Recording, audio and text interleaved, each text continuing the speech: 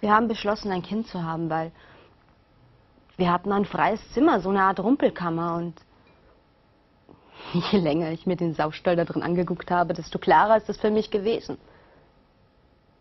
Ein Kind.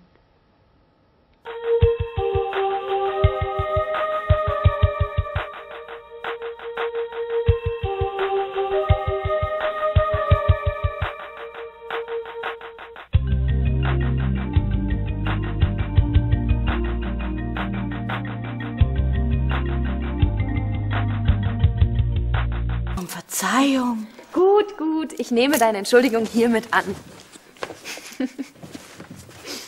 Sag mal, hättest du mich nicht anrufen können, um mir zu sagen, dass es später wird? Nein, ich war mit was sehr Wichtigem beschäftigt. Oh, bitte erspar's mir. Oh, nicht das, was du jetzt denkst. Ja, dann hättest du anrufen können. Später, später. Hm?